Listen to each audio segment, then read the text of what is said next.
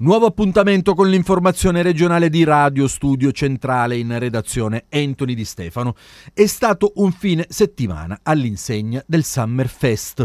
A Catania prosegue una kermesse che continua a dispensare magia nel nome della cultura, dello spettacolo e della musica.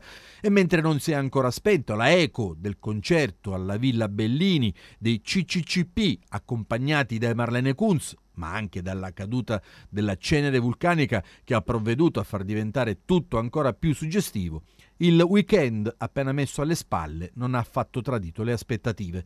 Venerdì sera al Palazzo della Cultura il concerto contro la violenza e per la pace Sabato a Piazza Federico di Svevia il laboratorio di musica e danza calabrese. Ieri sera le musiche da manoscritti medievali del XIII e XIV secolo. E questa sera tocca al caffè letterario.